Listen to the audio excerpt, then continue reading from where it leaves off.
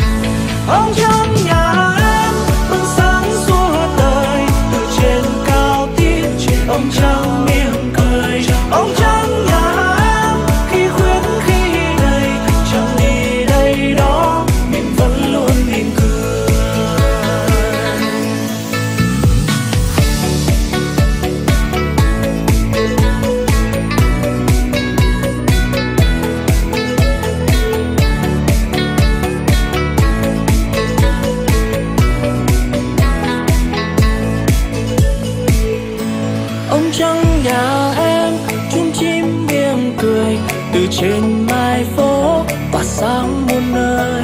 Ông trăng nhà em là tiếng cha cười, là lời mẹ hát, là mắt em vui.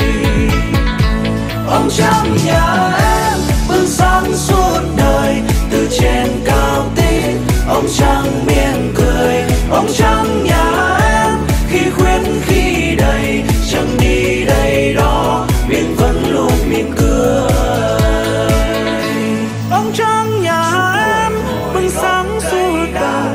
trên cao tít bóng trăng mỉm cười bóng